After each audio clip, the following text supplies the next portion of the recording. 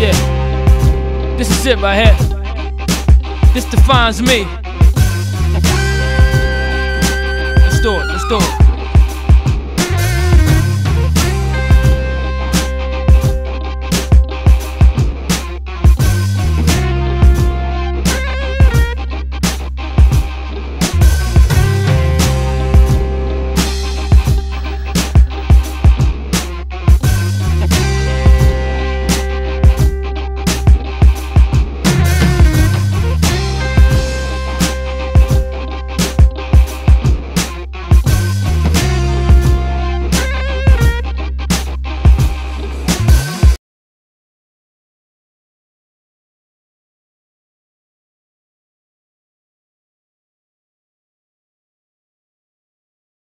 Far as I can remember, always wanted to be a barber. This is the place where magic is born. This is my stage. I'm here to perform.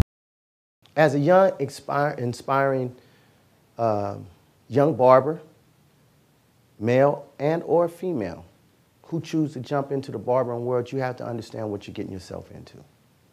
A lot of times people, and today, barbers are in a, a it's almost like a fad.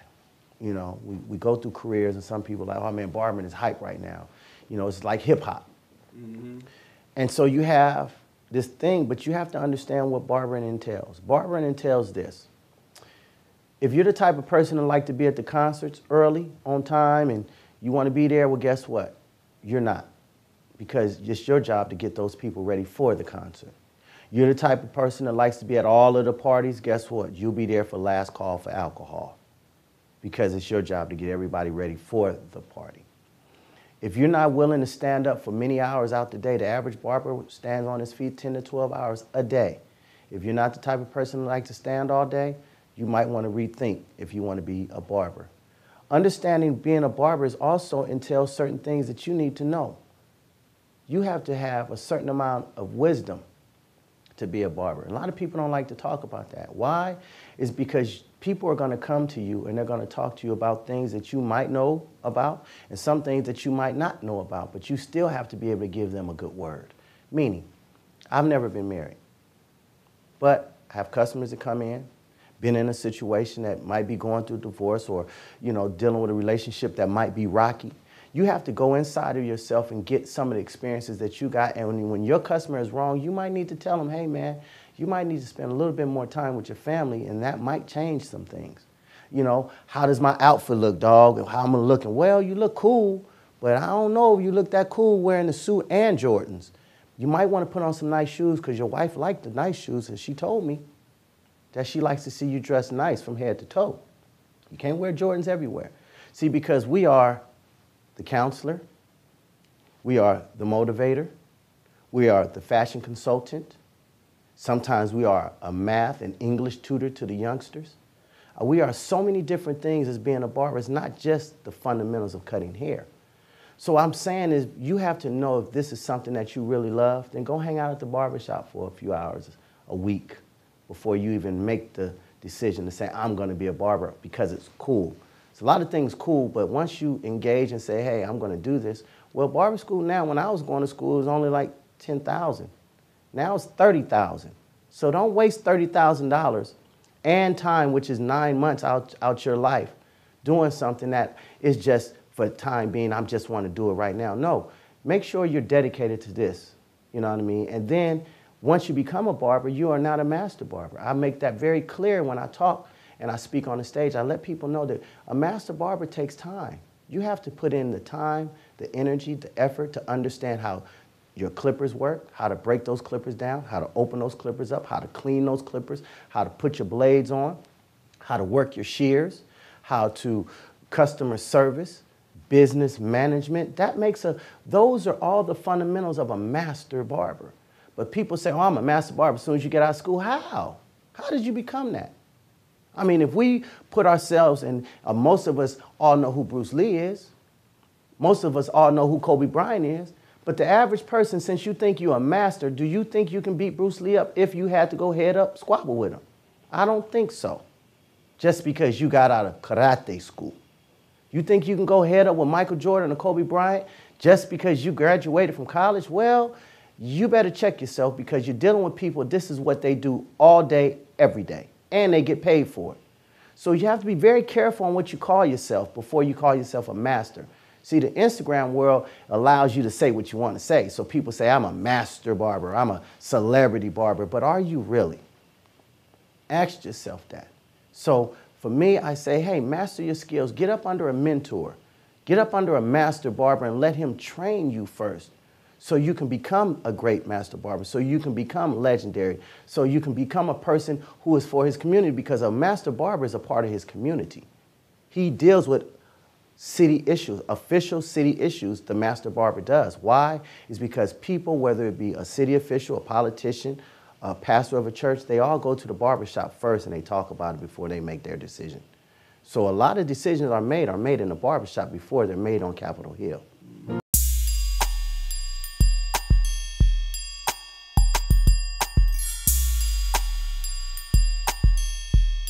For real, y'all.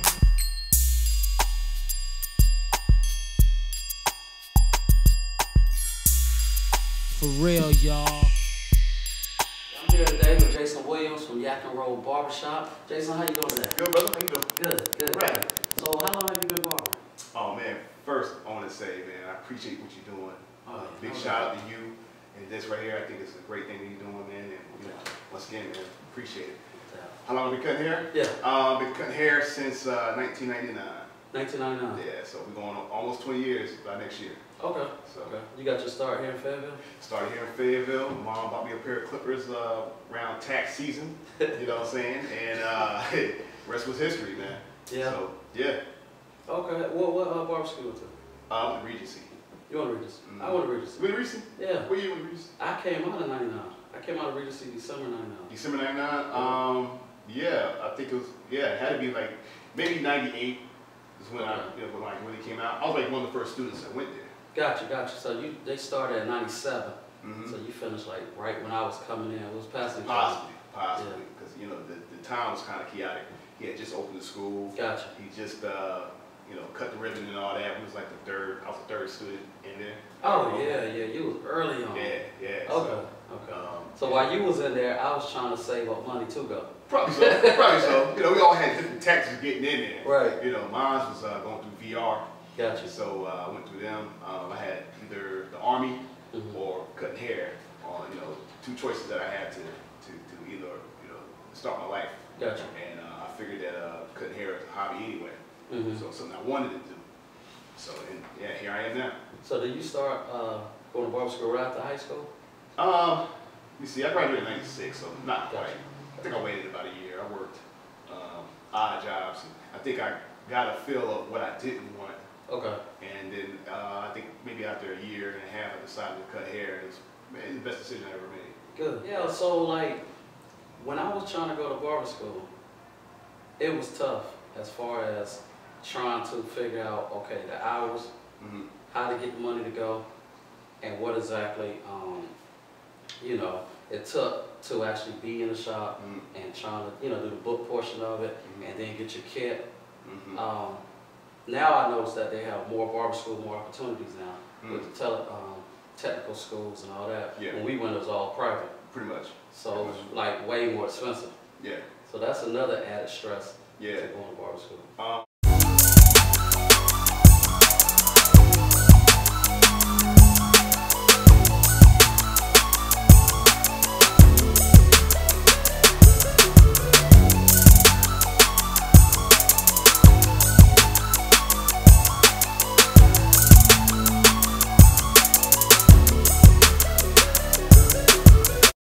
think uh, with me, um, uh, I had a great boss at the time, the place I was working at, um, when I decided to go to barber school.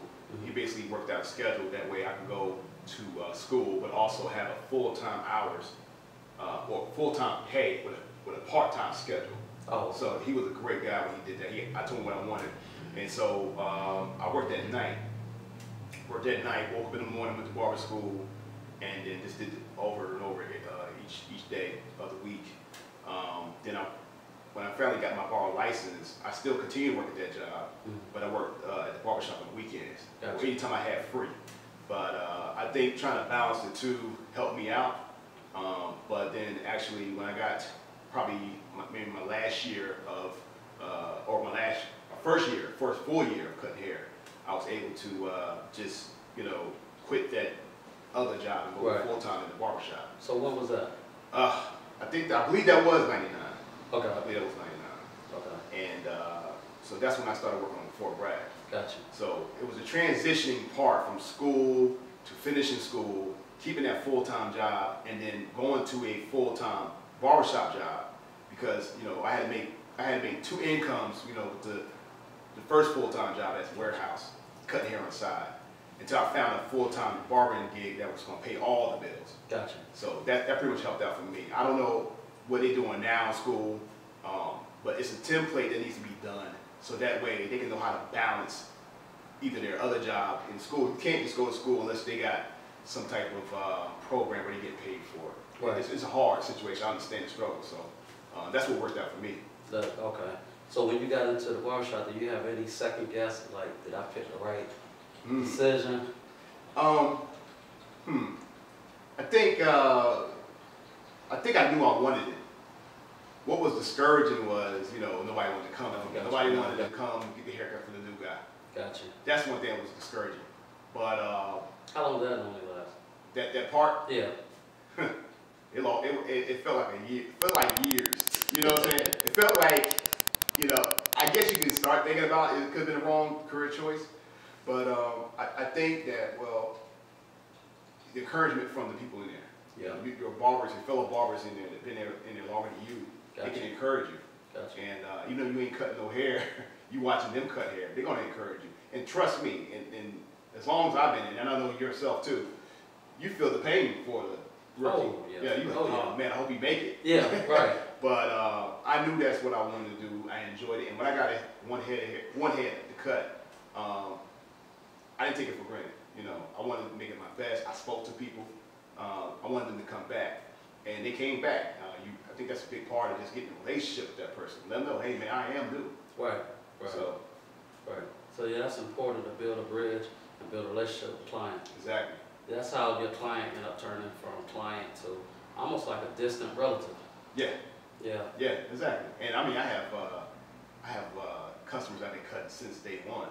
Um, maybe maybe it's a couple, but man, they always remind me like, man, Jay, you remember when you first got out of barber school? And I said, yeah, man, you, you making me old, man. But uh, I, I I enjoy that, and like I said, it keeps me humble. Um, I am not uh, uh, too cocky or, or that confident. I know that uh, anything can happen. Uh, I love and I appreciate my customers coming, and uh, every time I cut their hair, it's almost like I'm starting all over again. I try to keep that mindset so I won't get too uh, displaced. You know, and a lot of barbers get to the point where they get real cocky in the game, and um, they start forgetting where they came from. Gotcha. So I try not to never forget where I came from. I like that. You know, so. Yeah, I like that. What what what kind of advice do you give to uh, a guy that want to go to barber school? He come to you, he say, "Hey, I'm thinking about going to barber school. Uh, I got me a pair of clippers. I've been watching these videos. What do you think?" Mm. And, and he says he wants to go to barber school. Yeah, And he got a pair of clippers. yeah. One pair. One pair. oh man, it's um, it's a lot. You- know, you just can't have a pair of clippers and watch, you know, videotape of it. You know, there's a whole bunch to it. You, I would say, uh, go cut your cousins, go cut your friends, go cut your your father and uncle, Gotcha. uh, and buy uh, from the money. Let's say that you uh, do donations because you know you have to get donations. Gotcha. You're not supposed to charge, but uh, just say, hey man, you know, I'm gonna cut your hair for a donation so I get some more haircut, uh, Gotcha. more clippers. Gotcha. Um, but you, you know, you need to practice. You need to keep practicing and practice and practice because uh, confidence is gonna come. when You uh, cut hair eventually when you know how to really cut hair. And um, I, I can just tell that guy, hey man, just get more pair of clippers, watch a lot of tape, but also practice. Practice on yourself. You know, Mhm. um, I did a lot of practice on. I still cut my own hair. So, um, you know, I cut my cousins, my uh, my brother, my dad, my uncles, my mom. Mhm. Um, they was there for me to uh, uh, to hone my craft. And uh, I say if you if you want to go into the barber game, do that first. Do that first because when you get inside that barber shop after barber school, um, they will still be there to support you. Right.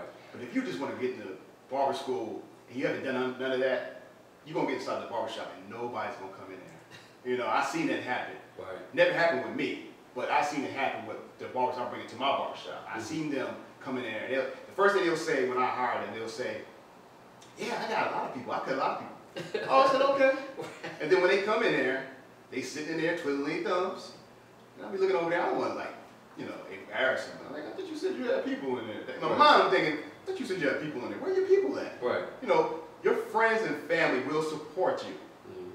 And now I'll be thinking, well, maybe your friends and family is saying you can't cut no hair, you know, and they're gonna wait a little Make while. you wonder all those people are. Exactly. Gotcha. But the minute I got out of barber school, the same people who I was cutting in the kitchen or the bathroom came to the barber shop. Um, it wasn't that many of them, but they eventually came. And even my friends, when I came uh, maybe four years, five years into the game of cutting hair, um, they supported me. And now they support me more than they ever did. That's good. So that's what I would tell the, the new barber. Get get your cousins, get your friends, get your brother, your sister, anybody.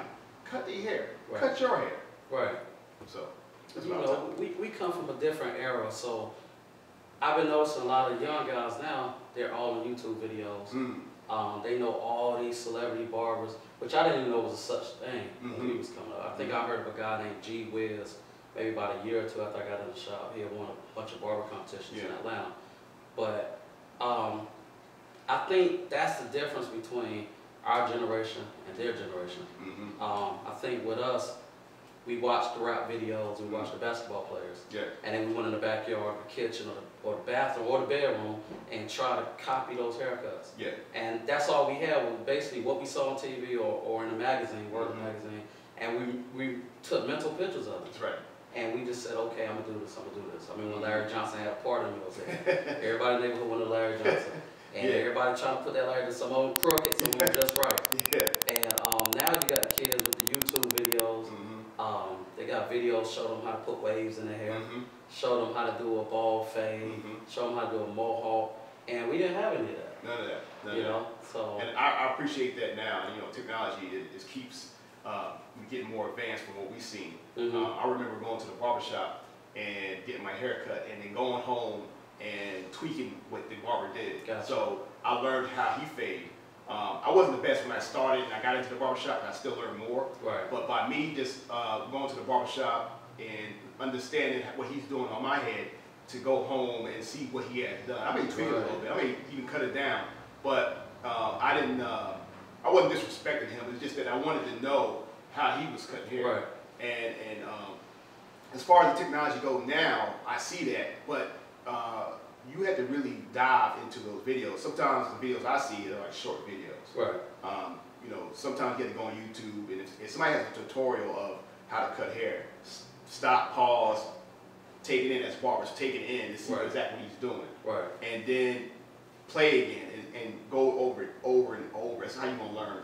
But really, you know, me and you, we know that it's gonna take you go inside that barber shop, get behind that chair and cut. It's just pure repetition right, of doing what you had to do as far as be a great barber. absolutely. So, Well, so I did I did a tutorial a couple weeks ago, Mhm. put on YouTube, mhm.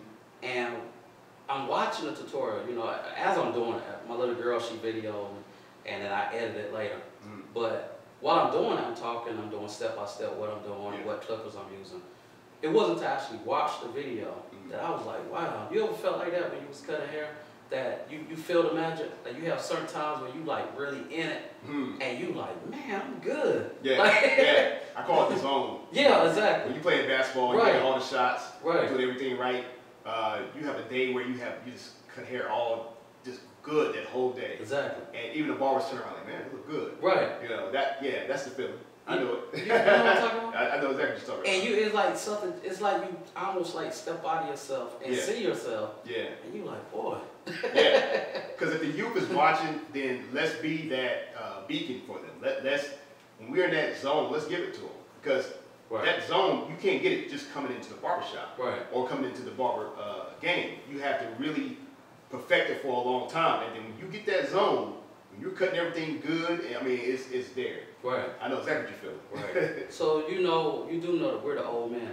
We're old, man. We're the old man. Yeah, yeah. As far as the barber game, um, like I said, you got these young kids watching YouTube videos. Mhm. You got all these celebrity barbers out here, all these barber shows, and Yeah, and we was doing this before all of that. that's right.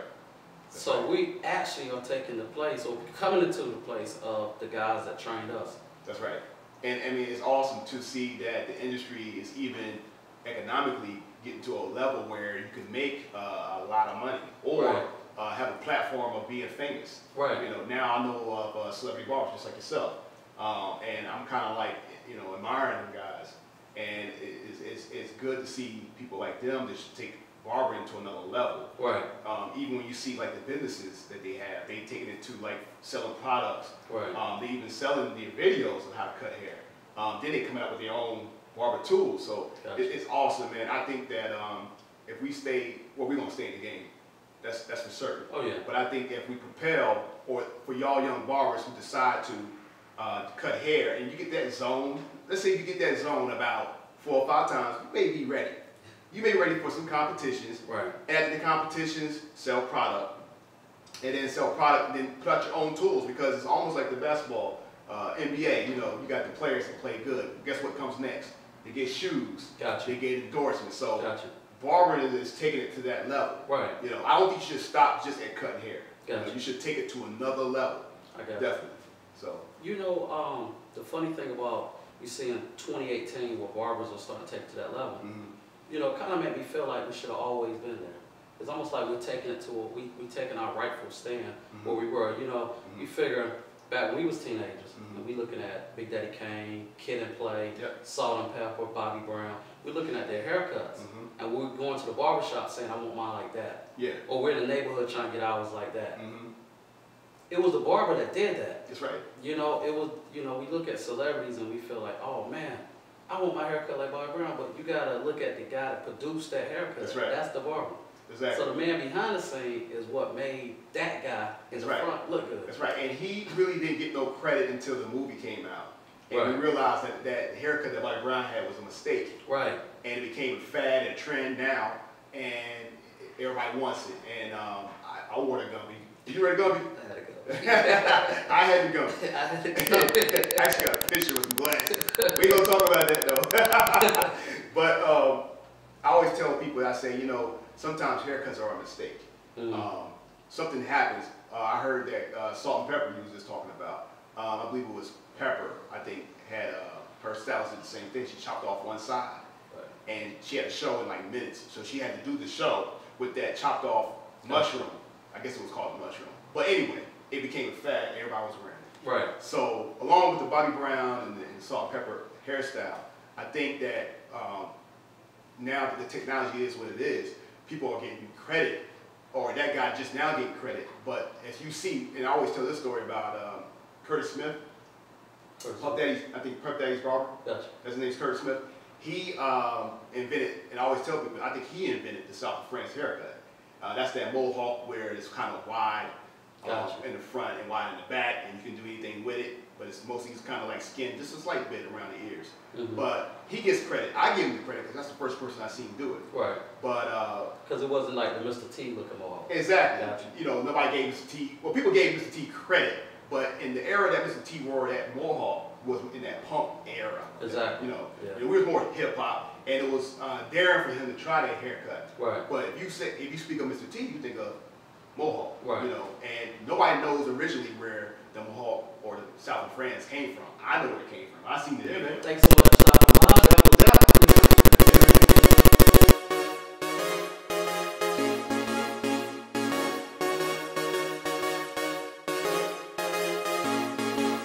We had a great show. I'd like to thank you all for tuning in. I'd like to thank Master Barber Jason Williams for showing up. And until next time, peace and power.